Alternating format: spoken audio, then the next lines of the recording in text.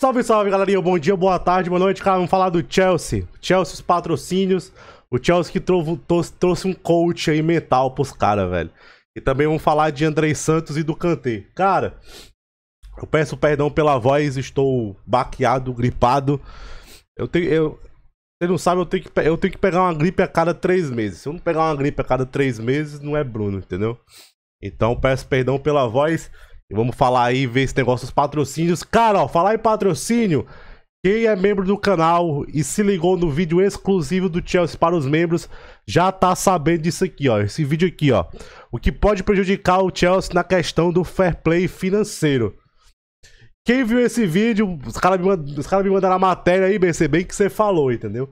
O que eu ainda vou deixar muita coisa que eu falei naquele vídeo e eu ainda vou deixar em off, né? Porque esse vídeo eu vou publicar ele no público ainda. Mas basicamente lá, é, o que podia prejudicar muito a questão do Chelsea no fair play financeiro eram os patrocínios. Porque o Chelsea vai perder 60 milhões de libras em dois patrocínios meio desse ano. A Tri, essa da frente aqui, e a Whale Fin do lado. A Tri é 40 milhões de libras. A Whale Fin é 20. Lá também tem outros detalhes que eu vou deixar para os membros, né? Os membros sabem mais lá. Então, se torne um membro. Então, cara, é. O. Existe esse, esse gap. E, cara, pra questão do fair play financeiro, o patrocínio é muito, muito importante. Você abre mais orçamento e você abre mais porta pra, pra gastar. Obviamente, entendeu? E tipo, e o Chelsea tá atrás, por exemplo, é, do Liverpool em patrocínio Master. Aqui fala ó, que o Chelsea espera, espera um novo lucrativo, né, patrocínio para substituir a Tri, né, que é 40 milhões de libras por ano, né? Aí fala aqui, ó, Uh. Bom, que o novo grupo aí, o Todd Bowl e a Clear Lake, miram fazer significativamente melhor o antigo acordo. Que o antigo acordo foi 3 anos, 120 milhões de libras. 3 anos, 40 por ano, né? É... Aí fala aqui. Ó, aí fala, ó. Eles gastaram mais de 600 milhões de libras durante duas janelas de transferência, né? Bowley e a Clear Lake, ó, estão muito cientes, ó. Os membros que viram o vídeo exclusivo, ó, estão muito cientes que precisa melhorar, ó, crescer, é, ó, a parte comercial, ó. Precisa crescer o faturamento comercial do Chelsea. Quem viu o vídeo lá exclusivo tá ligado do que eu tô falando, né, ó. Aí fala Aqui fala aquele, aquela polêmica que a Tri pediu pra tirar o patrocínio na época lá da. Negócio Rússia e Ucrânia, entendeu? Ah, pá, pá, pá. Deixa eu ver aqui. Aí fala que o Chelsea é, tá vendo aí algumas propostas aí. Aí fala, ó, que o Chelsea e o Bowley esperam chegar muito perto ou melhor do que o acordo mais lucrativo da liga, que é o do Manchester City com a Etihad, que o Manchester City ganha 67,5 milhões de libras. Esse acordo aí que está sendo muito alvo de muito suspeito, né? Aí fala.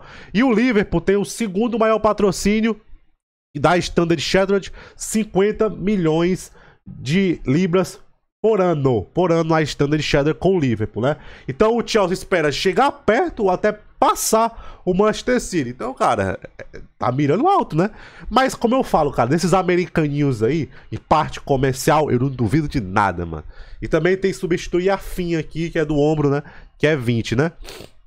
Aí fala, ó, 20 milhões de euros, que a, também vai reincidir o contrato criptomoeda. Você sabe que esse lance de criptomoeda, o negócio foi pro espaço, né, gente? Então, enfim, é, o negócio lá tá pegando. Então, cara, basicamente é isso. Uma questão muito importante, pouca gente se atentou.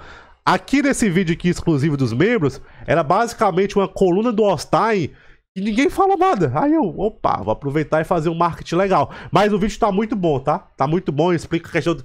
Lá nesse vídeo também falam questão do pulo do fair play financeiro que ninguém sabe. Nesse vídeo também tá. Então, quiser ter acesso, se torne um membro, tem a opção pelo YouTube e também tem a opção via Pix aí na descrição, belezinha? Tá barateado, tá? Uma pessoa 30 reais por ano, duas pessoas 50 por ano, belezinha? Ó, o Chelsea que contratou o Gilbert Enoka, né? Que é o coach metal do All Blacks. Quem não sabe o que é o All Blacks? O time da Nova Zelândia de rugby, né? Muito conhecido pelo Haka, Quem viu aquelas danças do Haka lá? Aí fala que é, é uma, vai ser uma parceria de curto prazo, né? Ó, Shotano, tipo, uma, ele vai fazer uma consultoria com o Chelsea. O Gilbert Enoka, né? É, na verdade, ele é o treinador do All Blacks, né? E começou como coach mental, né? Do All Blacks. Aí, cara, eu li aqui a matéria, o ponto mais importante é esse aqui, ó. Ele fala, ó. Aqui, ó. O que tem uma fame, ele é muito famoso por ter a política de no dickheads. O que é no dickheads? Idiotas. Não existe idiota, fala, ó. Um idiota faz tudo ser sobre ele, sobre eles. Ou seja, é o que fala, o que fala é o que ele tá falando que um cara idiota, ele faz tudo individual e não pensa no coletivo, ó. Aí fala aqui, ó. Ó, pessoas que se colocam à frente do time, né? É, pessoas que acham que tem mais moral do que as outras. É literalmente, eu acho, tá? Porque eu não sou muito familiarizado aí com o trabalho do Gilbert, que é muito mais um negócio para unir o elenco, criar uma fortaleza mental, né? Hoje em dia, cara, a parte mental, confiança é muito importante no futebol. Hoje você vê, você vê claramente quando o jogador tá sem confiança, você vê claramente quando o jogador tá com confiança. Que é, um exemplo muito bom de um jogador que tava jogando com muita confiança, o Enkunku, antes da lesão da Copa do Mundo. Mano, você viu o Enkunku jogar, você batia o olho, mano, esse maluco tá muito confiante. Ele tá jogando solto. Jogando literalmente solto. Então, é, o Chelsea eu acho que acerta trazer um cara aí, mano. No momento de crise, tudo que para agregar vale a pena, velho. Vale a pena. Então, acho que acho que o negócio vai vai melhorar aí. Vamos ver, é uma consultoria aí de curto prazo. Vamos ver se o Gilbert Enoka vai vai vai puxar Cara, se ele puxar o lado mais sombrio do Kai Havertz, já tá valendo, né? Fabrício Romano deu umas entrevistas aí, falando do Chelsea, falou, ó, a chance do Kanté ficar é 50-50 ou 60-40 em favor ao Chelsea. Vamos ver como é que vai ser isso aí, né? Essa renovação do Kanté é uma novelinha, né? Porque no começo, ah, não vai ficar, depois estão otimistas, né? O problema é que o Kanté quer um contrato mais ou menos longo, né? E o Chelsea, com essa, com essa quantidade de lesão dele, é difícil você dar um contrato longo pro Kanté. Mas é, é normalmente o que eu acho. Eu acho que vai se renovar. Vai ser dois anos com a opção pro terceiro, ou três anos com a opção pro quarto. O problema do Chelsea nesse caso aí é porque eu acho que muito time daria 4, 5 anos pro Kanté tranquilamente. Obviamente tem questão de salarial, o Kanté vai. Tipo assim, se ele quer muitos anos, talvez o Chelsea ofereça um salário menor.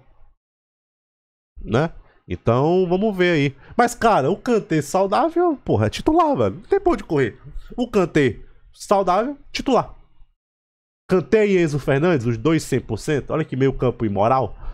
O problema é ficar saudável, né? É aquela coisa, disponibilidade. Você tá disponível. Hoje em dia é um ativo, é um trunfo, é importante. E o cara tá machucado de um ano e meio pra cá. Complicado, né? Ó, o Chelsea quer que o André Santos se junte ao time principal o mais rápido possível.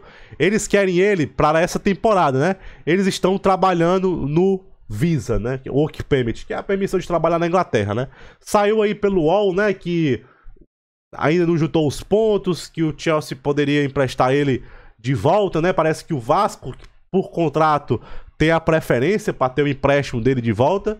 Vamos ver. É um, é um, é um visto de trabalho. Esse, esse visto de trabalho da Inglaterra é meio chatinho mesmo, tá? É meio chatinho mesmo. Quem conhece sabe que é um processo delicado aí. É, principalmente para esses jovens aí, brasileiros. Mas como ele tá em seleção, os pontos lá juntam mais rápido, né? Se ele não se juntar agora, meio do ano ele deve se juntar. Cara, eu separei isso aqui, ó. Asen Zacaria e Enzo Fernandes é, criaram mais chances em 2022 do que qualquer jogador de meio campo de 21 anos para baixo. Zacaria e Enzo Fernandes criaram mais chances em 2022 de jogadores abaixo dos 21 anos. O que eu quero dizer com isso? Que jogar o Enzo Fernandes de primeiro volante é um puta de desperdício. Ele joga muito, ele vai fazer a função excelente. Mas eu acho que o Enzo Fernandes tem que, ó, jogar à frente como segundo volante, ajudando na iniciando um ataque, é, construindo um ataque, sendo um suporte pro meio-campo, ou você faz um 4-3-3 com ele e o Malte um pouco mais avançado, ou ele ou o Chukwuemetsa, por exemplo, como meio atacante. Por isso que eu acho que quando o Zakaria voltar, eu testaria o Zakaria de primeiro volante e deixaria o Enzo um pouco mais à frente. Ou o Kovacic de primeiro volante, com o Enzo um pouco mais à frente. Eu testaria isso. Entendeu? A única maneira que eu acho que o Enzo Fernandes faria muito sentido jogar o Enzo de primeiro volante é se o Kanté tivesse saudável, que o Kanté fazia isso muito bem, né? O Kanté que era o coração daquele time do Tuchel, né? É, não é muita não é muita coincidência que o time do Tuchel começou a cair depois das lesões do Kanté, né? Não é muita coincidência. Então é isso, galera. Tamo junto, é nóis. Valeu, falou.